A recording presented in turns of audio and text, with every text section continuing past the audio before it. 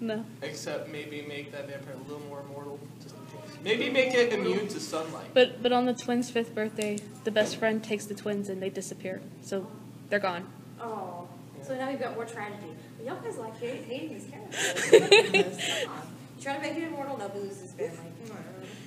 Hey, He's immortal now. He has to have pain in his gut for forever. you, you have to torture your characters. It's just They have. They can't live a good good life. That's can't not all- reality. Can't That's make it not all fairy tale happily, happily ever after for them. No, It's just like- no fun. Like crazy gnomes and talking horses. Or talking unicorns, I'm sorry. We won't get into that. Not right here. Not, not at this point, but you know, um, he does have a pet hawk. What does he use the hawk for? Scouting. Scouting. Okay. What Hunting. else? Receiving messages. Receiving messages. Would he use it as a form of like to procure food? You can use it as hunting. Well, that's typically what they use for is hunting. Hunting. Get your rabbits. Cool. How'd he get that hawk? I mean, he's been in jail. He inherited a tavern. His best friend gave it to him for a birthday gift. Oh, cool. How did she get it? Nobody Traveling knows. A traveling salesman with, hawk, with hawks. Well, they Okay. sold they sold strange and exotic animals. Okay. Breeder. So where is this brothel located now? that We've got we've got the element of travel here. We've got the fact that he's immortal. We're we're working towards a little bit assassiny, feudal-ish. Like where does he live? Like where is actually he located? Industrial city, western frontier. I'd say in the European. south. Okay, so he's a southern brothel-owning vamp- uh, assassin. I'm seeing like Savannah, Georgia. Old New Orleans. Yeah, maybe New Orleans. Yeah. No, We yeah. wouldn't know anything about Mormons. Well, I'm just that's that's kind of the like I don't know. That's just what I'm getting. Oh, okay, that's cool. So, southern brothel-owning assassin who's immortal in Okay. 1853. In 1853. All right then. Yeah. Cool. Magical toothpick. All right then. That's what matters. It's what matters. I like that. All right. So, do you guys have any additional information you'd like to contribute to Yuki Master's Green? Yes. His son decides to kill him because he thought that Yuki left him, but it was the mother who. Oh, so Took the twins- does die. No, no, the son of Yuki tries to kill him. Tries. Tries, but doesn't succeed. Brings on the reins of the assassin to kill his father. No, Revenge. Oh. no. he, he, he got close, but no dice. He's gotten close. He's gotten close. How do you go about killing one who has ingested an immortality toothpick of doom? Cut. He's trying Yeah. to cut out his stomach. Dynamite. Swallow this bomb, Dad. if you're in 12 pieces, what does it matter? Yeah. You're still alive as long as the toothpick's touching flesh, right? But if you destroy the toothpick, would he lose his immortality? Yes. He would, so he was going to sacrifice himself to rid the world of his father Yes. for the greater good.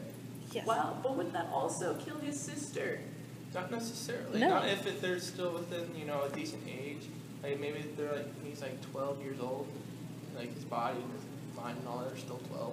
He just wants to kill his dad because he doesn't want to live forever. Ooh, talk about that preteen angst. 12 years old. Hey, that's the best time to just let all those anger out. Get those roids out. Okay, so the son attempts to kill him. Does the son die in the process? I don't think. No. his son. No, no, he just walks away with shame. Walks by shame. Does the sister attempt later on? No. No. I think the sister went down more than the mother's had. Just So, so we have a we have a uh, a true good character, and we have a vengeful. chaotic. I would say chaotic neutral. Like he doesn't really like that. Or, or how would you how would you classify sons? I, I would say the son is chaotic good. He he understands that what he's doing might seem wrong to other people, but to him, in his case, for his true justice and morality, he honestly believes the world would be a much better place without his father in it. So, which makes him really depressed. The father, the father's the depressed because he father knows this. knows about his vengeful son. Yeah, if he tries to kill him, of course he does. Yeah, okay. knows. But he didn't know before that. Maybe No. he locks himself away for a few years, being a hermit, because he's so depressed with his own fate and his own children's. Do you take some time off work, you know, just, hey, I'm sorry, you know, I, I can't. Gives go it off to his right second now." person I can't, I can't come to the brothel today. Ignores jobs to kill people, just sits there and sulks. And myth passed into legend.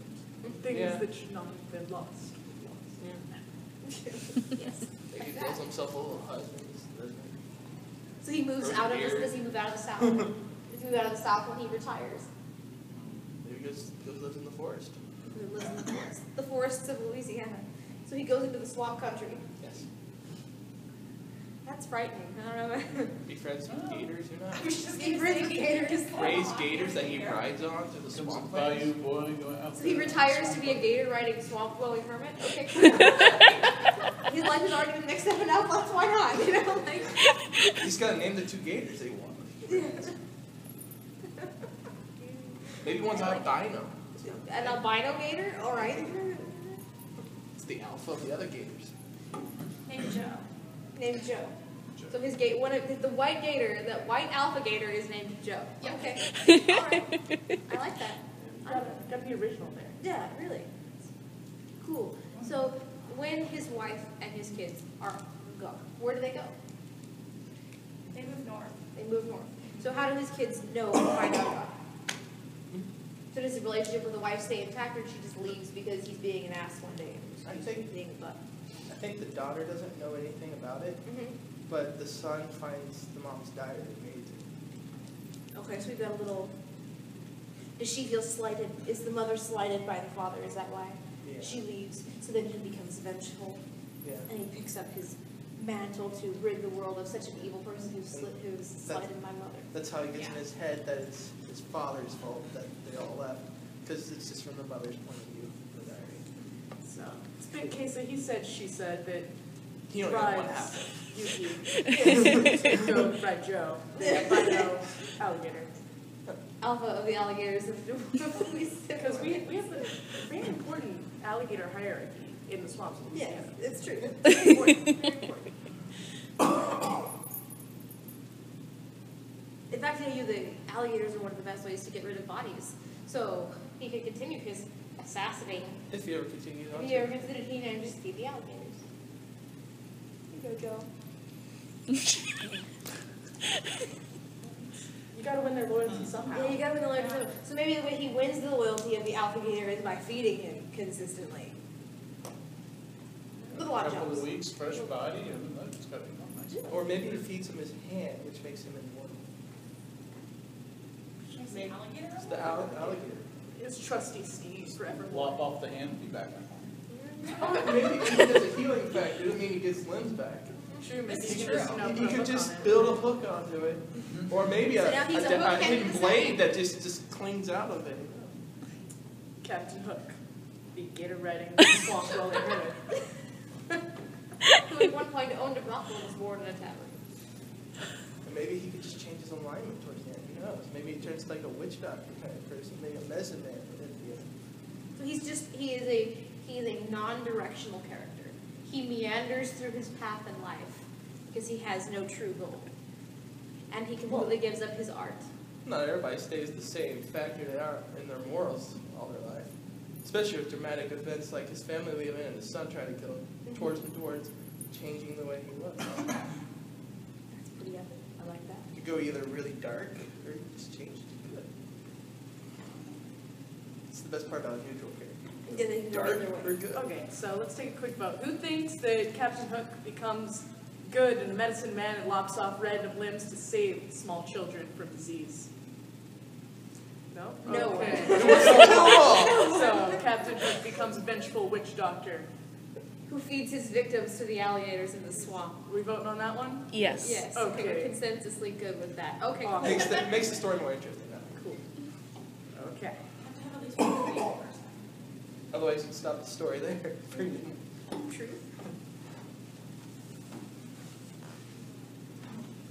Okay. This character has some deep development. Like, um, I like this. Yuki Masters Green has become a conglomerate of ideas. I'm loving his monotone laugh. I mean, Yeah.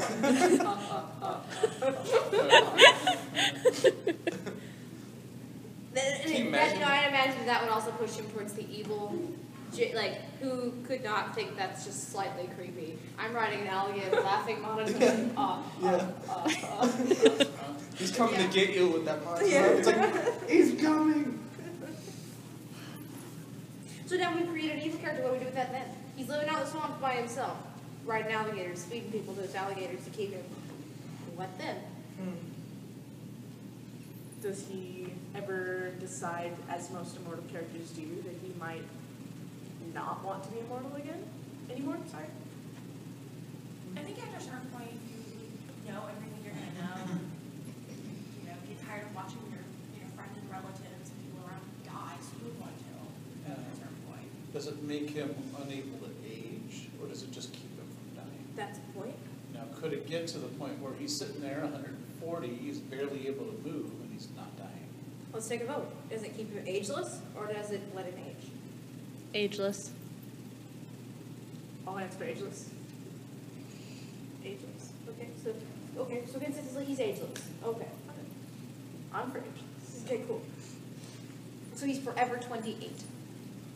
That's actually not bad. That's They're, they're, they're worst age. Yeah, they're worse ages. You could be like fifteen. That would That would suck. suck. Forever Can't- going through puberty forever. It's forever. Explain when he flips from one thing to the other, you know, he doesn't feel any Real need to need to commit to anything. Yep, that would be sick. But he married that one time. That was But that was you- before. Maybe that's why she left him. Maybe she Okay. found out. He got bored, she was getting older, he wasn't. Okay. That makes sense. He did. The brothel. Commitment issues. He was used to having all these ladies to take care of and all that, and then he has to settle down, take care of the family, and it gets to an old life, you know, boring life to him. He wants something exciting. Be His crazy. son But she, so she left because she got those thoughts. Like, no. Married life with children. I'll take care. I'll, I'll take care of the kids. You leave, bye. and then anger. They're angry people. This Anger- is the angry daughter is very happy The and go lucky. happy and by herself. person. Only because the daughter doesn't know. She's blissfully unaware of everything Yeah. else that's going on. She's naive. She don't. So That's how she perceives. That's how she wants people to perceive her. But deep down, she knows. Yeah, I would say there's some sort of like twin connection where she feels and understands what her brother is going through, but is just completely ignoring it. Yes, she completely ignores it and makes people think that she's naive. so do So they, they still don't expect a lot of her.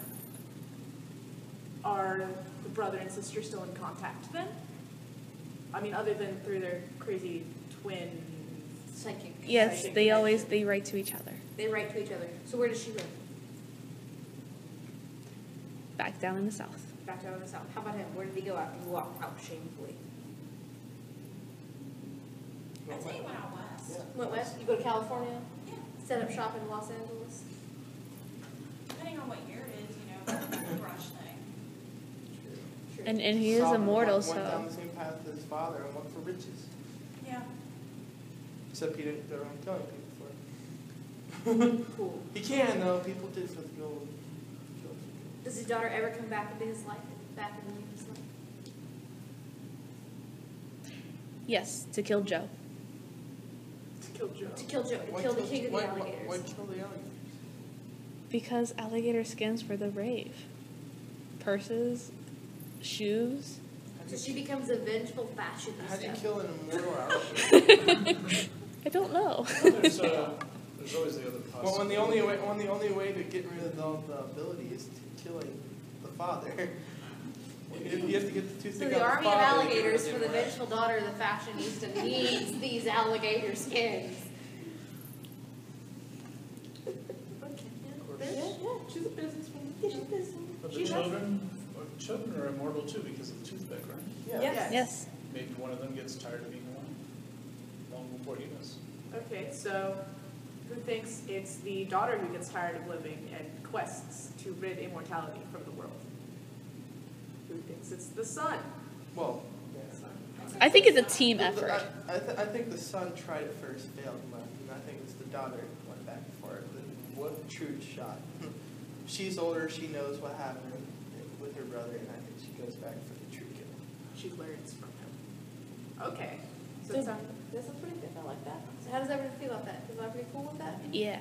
The only question is how. Is how would he? How would she dispatch her immortal father with an army of alligators in the swamps of Louisiana? With a, with a magical katana. Magical katana. Yes. Where did she procure Yes. a magical katana It's from? a it's a payment for her outfits. A Japanese woman wanted it, so she Yeah, gave. got it in a trade. So. yeah, I mean, her father's name is Yuki. Yeah. True. This could be this could be someone who he left running the brothel. All the connections.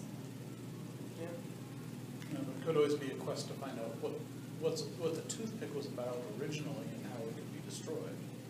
Because there might be, even though she can take him apart, that toothpick's still in Yeah. Maybe the original owner's still alive. Because Okay. the original owner crafted it, maybe, imbibed some of his power into it. Is the toothpick still an actual toothpick, or is it a smaller part of some larger piece? I think it's from a tree, a magical tree. A magical tree? Yes. Is the toothpick made of wood? Does it have to be made of wood? No. Mm. Is it made of wood? That's the question. How about that? Mm. The tree is a mineral. It could be wood. It could be rock. It could be whatever the person's desire. That's what makes it magical. Shape shifting toothpick. Shape-shifting toothpick of doom. Okay. Quest for the eternal shape-shifting toothpick of eternal life. of doom. there. It's appeared as a fountain and a chalice and, oh. So it could literally be the lost chalice of the fountain of youth Something like that. in the form of a toothpick? Because What who way to wants a have it? toothpick? Exactly. Went on retirement. You want a retirement, turn it into a toothpick, it's fine. Who's done with that? Everybody's looking for it, but got tired of being a cup, so. It's got tired of being a cup, gonna be toothpick now. Toothpick. It sounds like the, the toothpick has a little bit of the same thing that Yuki has going on right now. Does this mean, that- Life. does this mean that Life. this magical item is intelligent and could possibly talk? It's very possible. yeah, Yuki, yeah, Yuki's too dumb to understand. Yuki doesn't understand it. Because he's street smart, but he's not literate, and maybe it's trying to write messages to him without him realizing. So the toothpick is trying to communicate written word. This guy has no clue it's in his stomach. you walk past a, a sheet of paper, random words. oh, more random words. His heart's covered in them, but he's just like a magnet. Like, He's just like. People come to find him.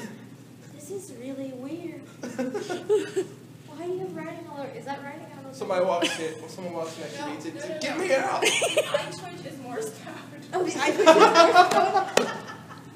put The twitch, the twitch he's had all this time. It's the toothpick.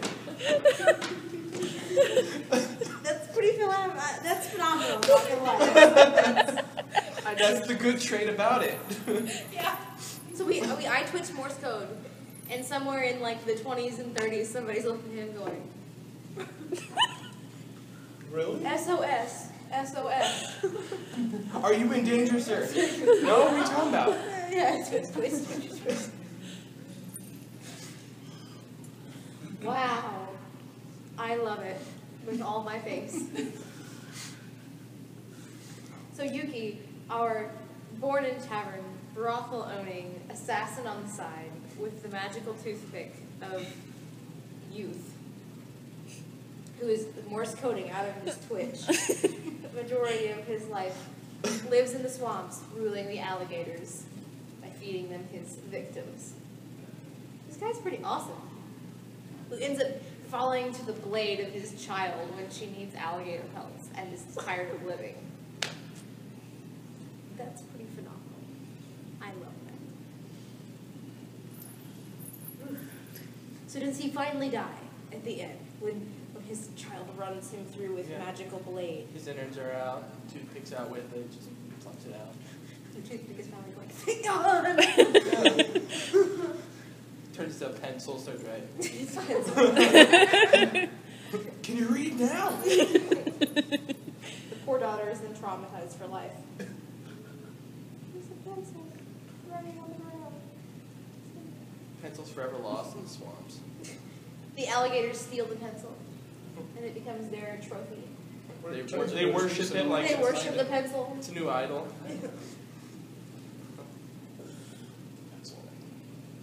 Toothpick worshipping alligators. I love it. so you guys, obviously, you enjoy this character, okay? So Till the you, end. you, you yeah, to the to the point you you go. I actually want to create, and I actually want to talk about this character and what's going on. He's relatable. We've all been in places where we can't do the thing that we want to do because there's something we can't control or we don't know how to do it. But we all have the secret desire to live forever and rule alligators in the swamps of Louisiana.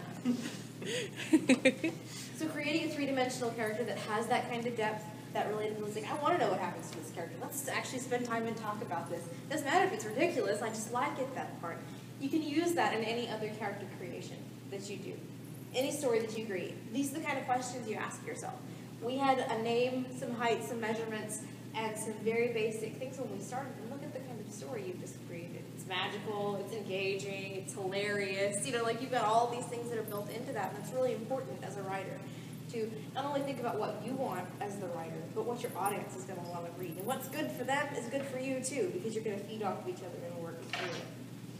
I think that's a lot of fun. I don't know about anybody else, but I really enjoy that. So when you walk away from the panel, now you have Yuki to take home with you, because let's guarantee it, we're all going to remember the fact that the alligators are now worshiping at a pencil, And, and YouTube. and, and YouTube will remember as well.